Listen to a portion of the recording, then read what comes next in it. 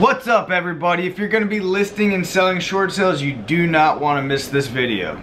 What's up, Steve at Steve Invest, helping real estate agents, brokers, as well as real estate investors grow their businesses with a path toward financial freedom. So short sales, are they coming back?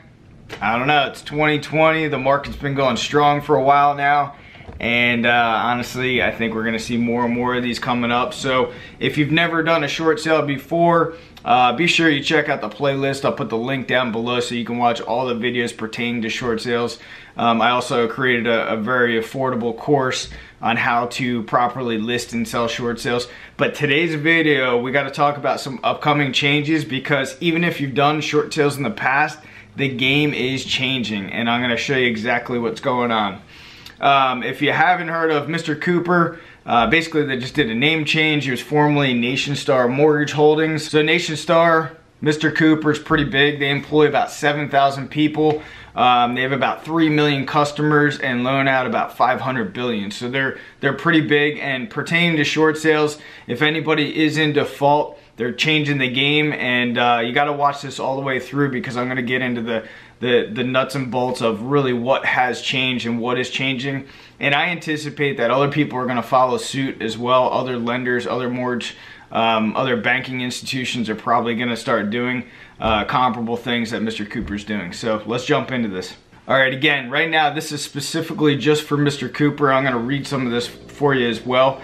So basically they retain, retained a uh, real estate entity. They're actually a real estate brokerage, I believe out of Texas and uh, it's called Xome, and it's spelled X-O-M-E. Uh, it's pronounced Zome, I think. And uh, anyway, they retain this company and basically they're going to be assisting in the marketing of these short sales. So again, if you guys are listing short sales or even if you're buying short sales, you're going to want to pay attention to this. So I'm going to read off some of this for you guys. In order to verify market value of the property, Mr. Cooper will use the services of Xome to conduct an expanded market marketing campaign followed by an online offer validation of the property in which additional offers may be submitted. Look, if you look at, watched any of my other videos and even the short sale course that we offer, we're going to be updating it with a video on this as well because um, it is changing. If, if traditionally short sales were set up where you would go to open market and you would review all the offers with your seller and then you would pick and choose one offer, get it executed, submit it to the bank. They would do their evaluation, come back and say, you know, it's either too low or we accept it and done deal. But with this, the game is changing. Like I said, they're actually gonna be um, doing an auction process associated with your short sales if any of them are owned by Mr. Cooper NationStar. In order for us to proceed your short sale request, you and your agent will both need to read the terms and conditions carefully, sign the form indicated, and return the fully executed document to your real estate agent. And look, you, you guys have a stake in this as listing agents. You're gonna have to sign off on this form. I'm putting up some of the language here for you guys as well so you can read it in detail. Um, you can go ahead and pause this if, if need be and review it. Uh, take screenshots, do what you need to do, but this is something you guys are spe specifically gonna have to sign off. Talking about the potential benefits, you may avoid foreclosure of the sale of your property. Any foreclosure sale date will be suspended while the property is in the validation program, which is awesome because that was one of the things where both entities were, were not talking. The foreclosure department was not talking to the short sale department and it was kind of a race against the clock because if you had the listing for the short sale, you even had a buyer, you had a short sale negotiator, you're going through that process. That didn't stop the foreclosure process.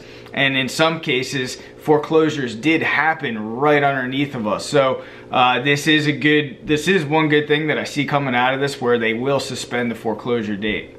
Uh, the proceeds of the short sale will be used to pay off the balance of your loan to the extent recovery deficiency balances is permitted by law. The remaining deficiency balance of your loan will be waived subject but to approval by the mortgage insur insurance provider.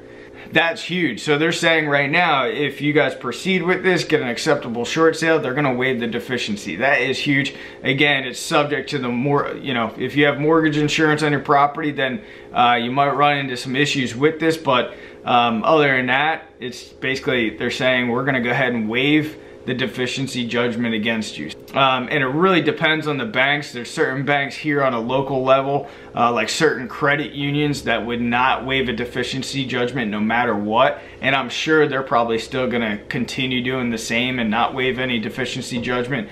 But um, you know, kind of peace of mind if you have a, a, buyer or a seller, a borrower that borrowed from NationStar, Mr. Cooper. Um, I think that uh, they're going to be in good standing in terms of having a good chance of waiving any deficiency judgments against them.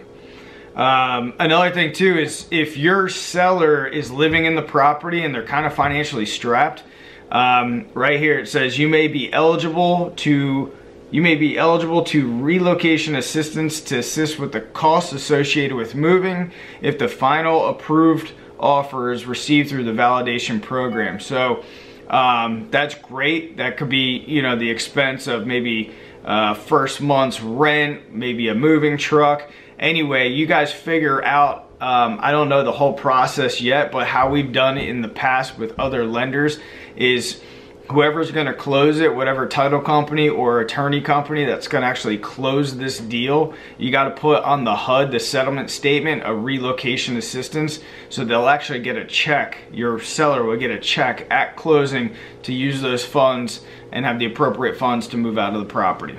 Pretty cool.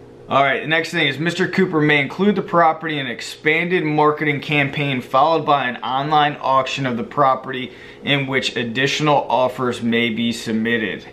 Okay, so it's interesting. They're they want to take these properties and uh, on top of what you're doing to market them through MLS and online, they're actually going to be doing an online auction.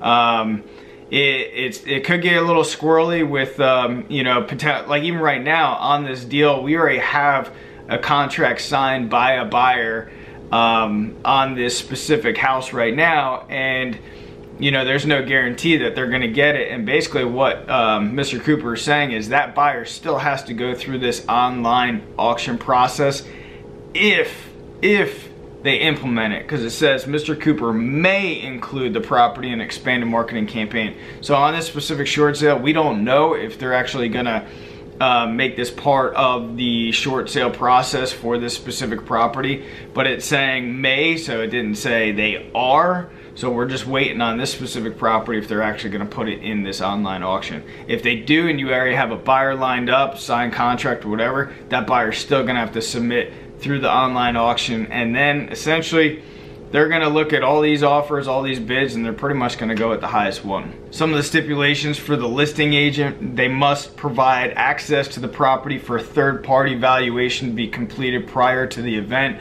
That's uh, what we call the BPO. I've got another video on BPOs and how to make money doing that, anywhere from 40 to $100 per BPO, so you might want to check out that video as well.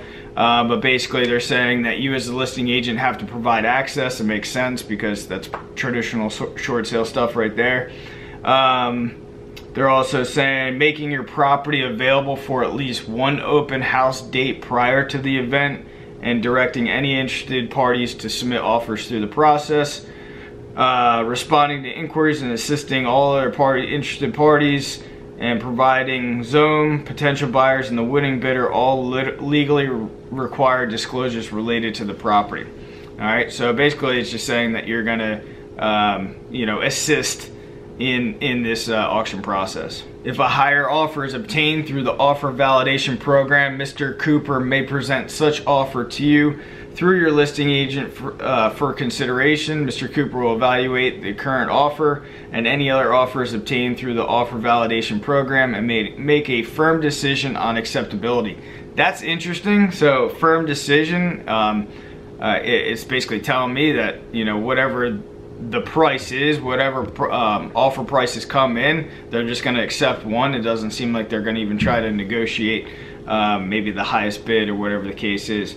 Um, this part, especially for buyers, especially if you are working with a buyer, uh, you want to know about this in connection with the auction and marketing services provided by Xome.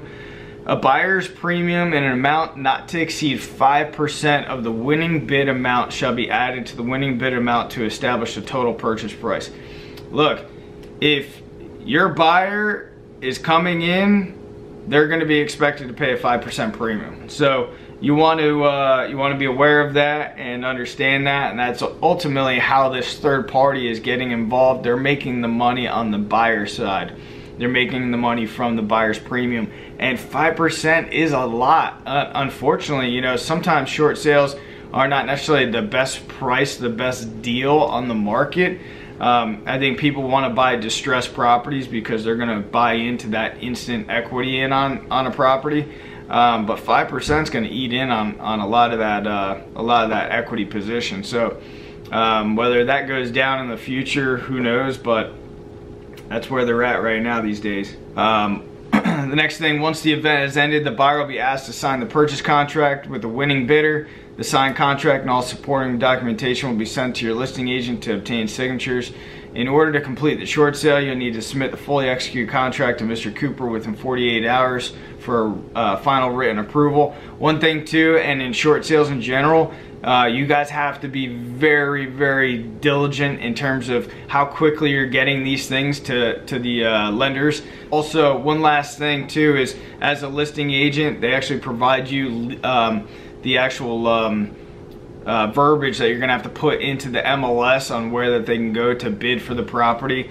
Um, if you are listing a lot of short sales, it's a lot of work, but the reward is great. You're helping people avoid foreclosure, and you guys can make a lot of money in commission dollars doing so. So you wanna make sure you have the right team set up if you guys are interested in really taking this to the next level, we do have a course that we created. It's very cheap. The link's gonna be down below for you as well. Uh, but before that, take a look at the playlist that I have pertaining to how to list and sell short sales. Start there, check it out, and uh, I'll see you there on those next videos. Appreciate the support. See you.